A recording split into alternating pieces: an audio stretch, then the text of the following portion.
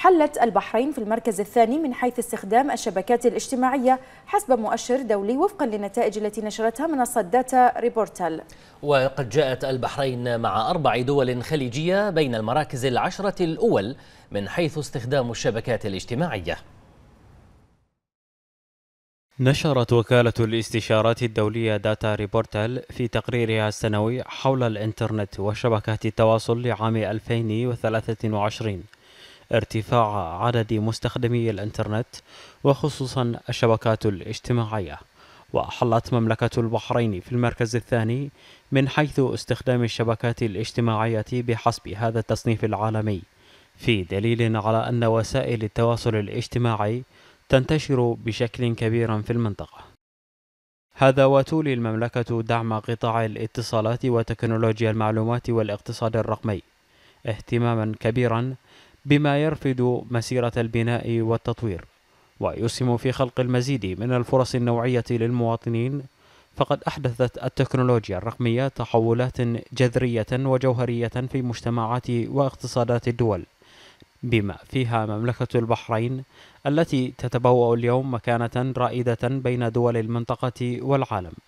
في مجال الاعتماد على التقنيات الرقمية المتطورة لمواجهة التحديات الاجتماعية والاقتصادية وتعزيز فرص النمو الاقتصادي ودفع عجلة الاستدامة في شتى المجالات. واليوم أصبحت مملكة البحرين من الدول السباقة في نشر العديد من التقنيات المهمة ومنها شبكات الجيل الخامس التي ستحمل مزيدا من القيم المضافة مستقبلا. إذ تعتبر مملكة البحرين مثالا مهما لدور السياسات الحكومية والتنظيمات والمبادرات التي تثري إسهامات القطاع الخاص في ابتكار حلول تعود بالنفع على جميع الأطراف. وتدفع بالتالي عجلة التنمية الاجتماعية والاقتصادية في المملكة نحو مزيد من التقدم والإنجازات. كما وتبنت مملكة البحرين خلال السنوات القليلة الماضية استراتيجيات للتحول الرقمي والاعتماد على التطبيقات الذكية لتسهيل الحياة الاجتماعية.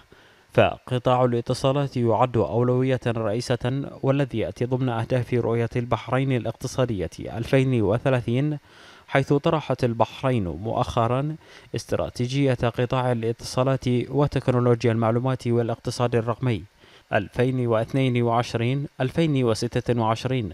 والتي ستسهم بدورها في تعزيز موقع ومكانة مملكة البحرين الاقتصادية.